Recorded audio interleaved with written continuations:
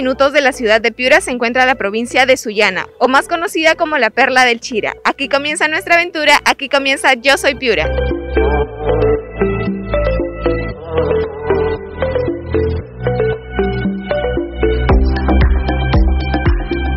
La Catedral de Sullana, más conocida como la Iglesia Matriz, cuenta con una torre de 40 metros de altura y dentro de esta iglesia está ubicado el Señor de la Agonía, patrono de la ciudad.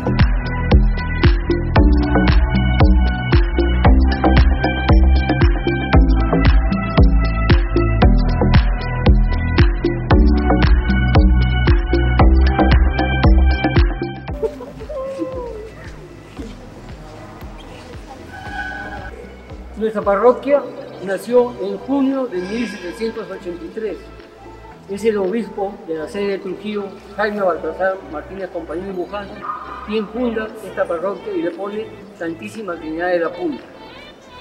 Antiguamente la iglesia era de dos torres, cuando vamos al museo van a ver las fotos de la iglesia antigua.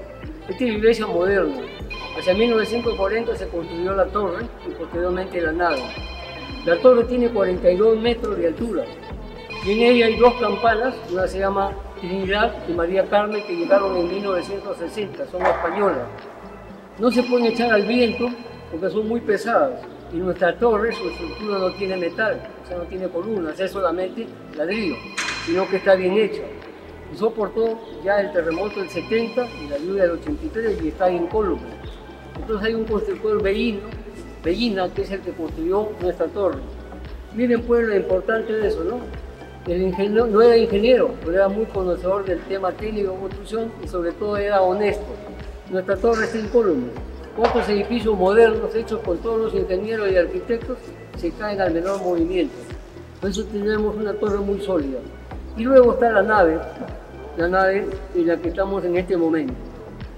Los suyaneros tenemos como patrono a Señor de la Agonía. Durante la guerra con Chile, un capitán, perdón, un sargento Balmaceda de ejército chileno pretendió ingresar a nuestra iglesia para saquearla. Para abrir la puerta se encontró con la imagen del Señor de la Agonía, es nuestro santo patrono que lo tienen aquí, pues y ante la admiración al santo patrono decidieron no saquear la iglesia y se retiraron. Por eso nosotros celebramos como santo patrono al Señor de la Agonía.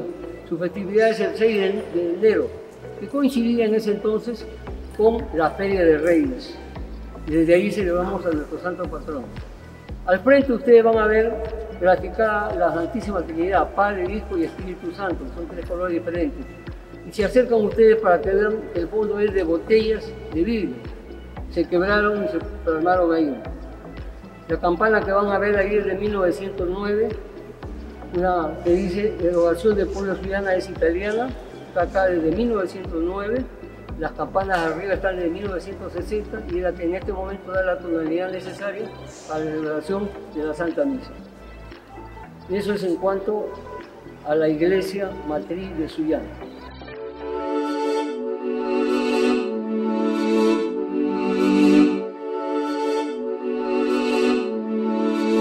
Granítica de 11 toneladas es un homenaje a la memoria de los 13 caciques tayales que se opusieron a la conquista española.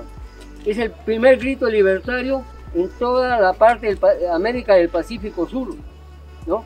Antes de la revolución de Tupamaru, para acabar con el dominio español, fueron los 13 caciques tayales los que se opusieron a la conquista española. Entonces, en homenaje a ellos, tenemos esa piedra.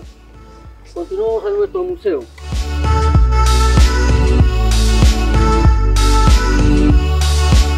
De Luis Cruz Merino.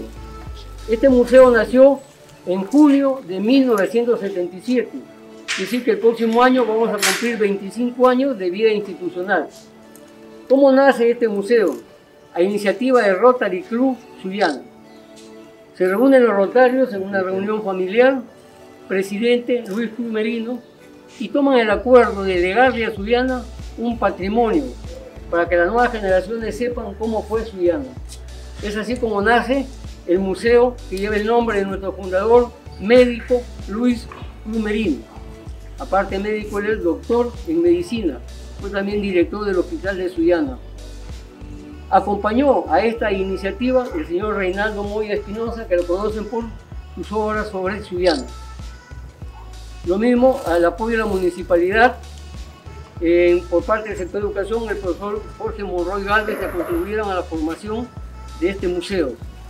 Eh, César Panta, que era requerido en ese entonces, por el Banco Regional, y luego estaba también el profesor César Ligarias, que son los fundadores del museo. Vamos a ingresar al museo, su directora, Carmen Cruz Delgado, hija del doctor Luis Merino, es la directora de nuestro museo desde hace 25 años.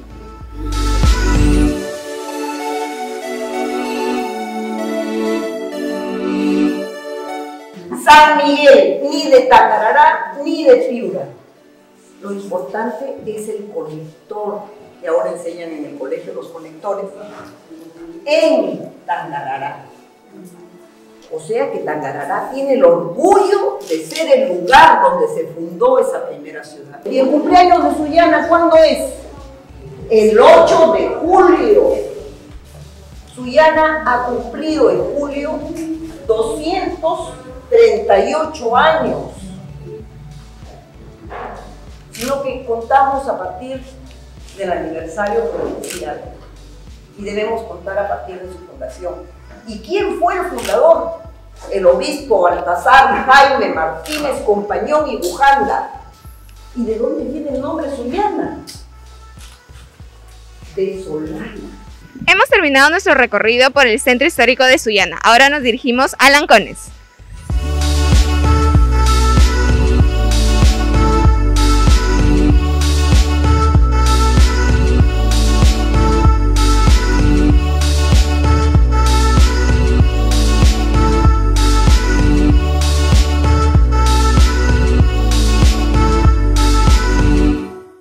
Después de casi como una hora más o menos de viaje de la ciudad de Sullana, hemos llegado hasta la represa de Poechos. A nombre del proyecto especial Chirapira, sean bienvenidos a la represa de Poechos. Quienes habla es el operador servicio Carlos Reyes Palomino. La represa de Poechos es la principal infraestructura del proyecto, del proyecto especial Chirapira. ¿no? Eh, la represa de Poechos, el proyecto, el proyecto especial Chiro consta de tres etapas. Primero, la primera etapa consistió en la construcción de la represa de Poechos y el canal de derivación hecha por la compañía Yugulava Energo Project. En su construcción se utilizaron 5.000 hombres. Esta represa de Poechos fue construida ¿no? en, eh, por iniciativa del aquel entonces presidente militar Juan Velasco Alvarado, ¿no? Se hizo más que todo por la necesidad de agua que tenía el valle de Piura, pues el río, el, valle de Piura, el río Piura, que es irrigado por el río Piura, el río Piura es, es un río de cauce no continuo. En cambio, el río Chira es un río de cauce continuo que tiene los 365 días del año agua.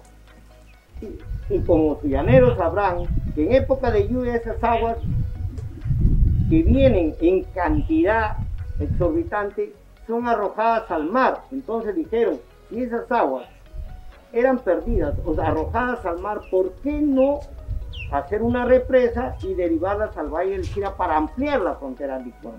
Y así fue como se construyó. ¿No? Se construyó, se construyó y gracias a esta represa se amplió toda la frontera agrícola, tanto del Valle del Chira como del Valle del Piura, e inclusive se le norte, centro y sur.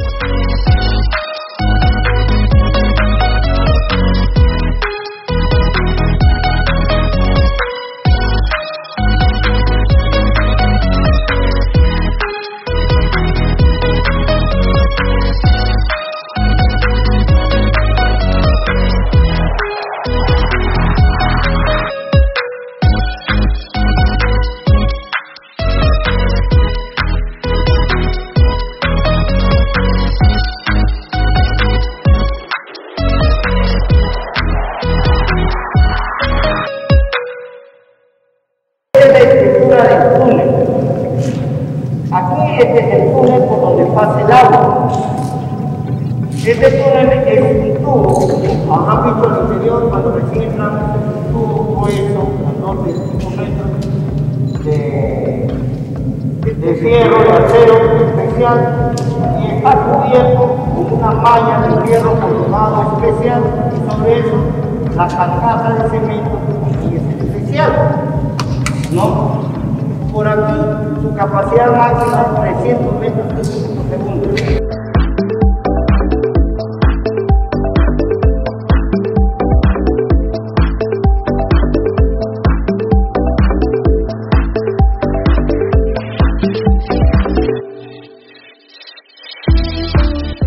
Como tercer punto de nuestra ruta hemos llegado hasta la cascada de la Peña en Querecotillo.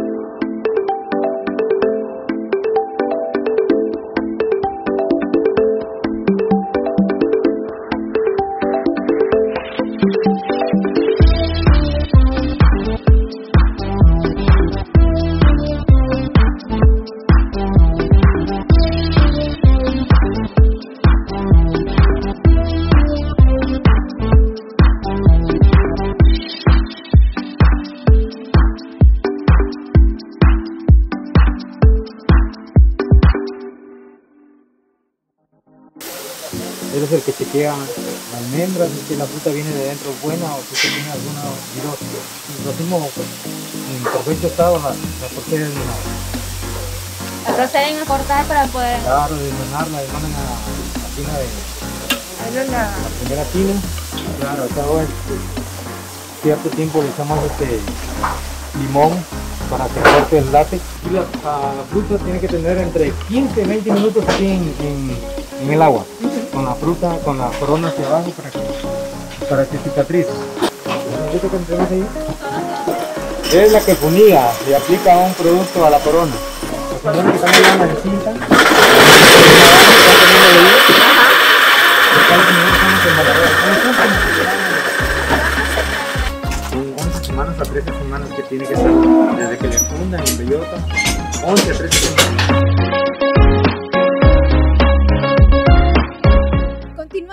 Recorrido, llegamos hasta la cooperativa de banano APP Bosa para conocer un poco más sobre esta producción.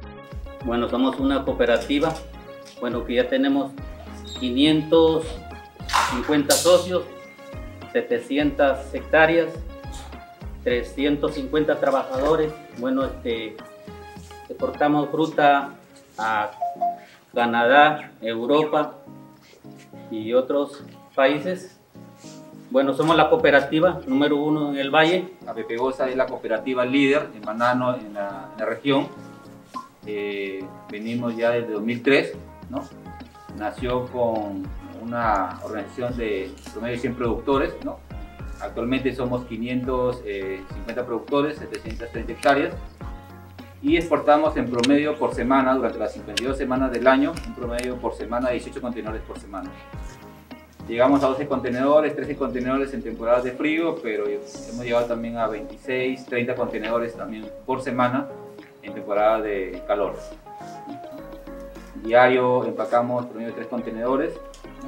Creo que han visitado unos centros de empaque también. Es la única cooperativa que casi el 100% de sus eh, plantaciones las tiene con cable vía y mega empacadoras. Entonces, de nuestra parte.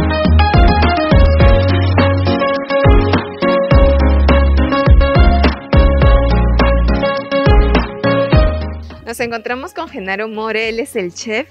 Cuéntanos qué es lo que nos has preparado el día de hoy. Bien, hemos preparado un sinfín de platos, desde postres hasta a platos salados. Eh, a Pepe Bosa eh, viene impulsando de mucho tiempo atrás la labor social. Eh, dentro de ello este, contamos con el taller de cocina y repostería. Entonces nos hemos unido en esta oportunidad con las chicas para preparar estos, estos diferentes platos a base de nuestro fruto estrella, ¿no? De acá de la región. Eh, y bueno, feliz que contentos por, por, la acogida que está teniendo y por el, eh, la aceptación de ustedes. Claro, he visto algunos platos innovadores, ¿no? A base de plátano. Cuéntanos eh, qué riqueza le ven a este producto que ustedes mismos producen. Sí, un sinfín de riqueza. Dentro de ello tenemos muchos nutrientes. En el caso nos encontramos desde una galleta, la cual hemos combinado junto con avena, un alimento muy muy esencial.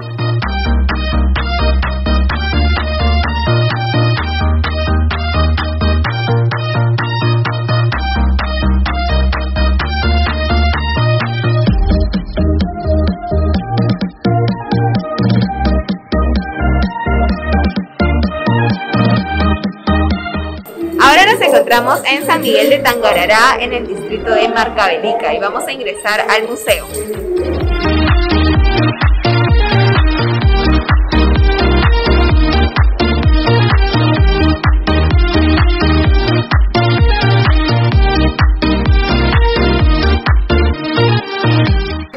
se denomina Museo de Arqueología, porque por la cerámica que se extrae acá, que es una parte de lo que se está exhibiendo, de los seis cementerios precolombinos que se encuentran acá plenamente identificados, por la cual Tangará ha sido considerado Patrimonio Cultural de la Nación.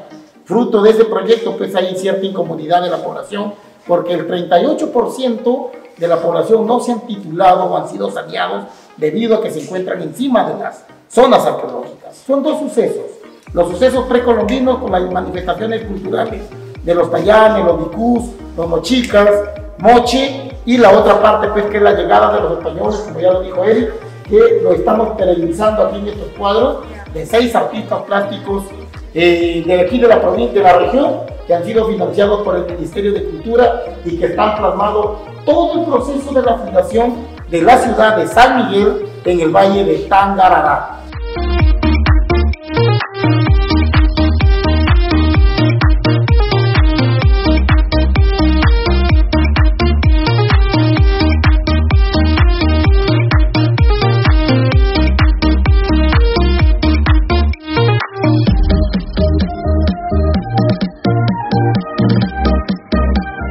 Y esta fue toda nuestra aventura por la provincia de Sullana. No te olvides seguirnos en nuestras redes sociales como Yo Soy Piura. Yo soy Lidia Silva y conmigo será hasta un próximo destino turístico.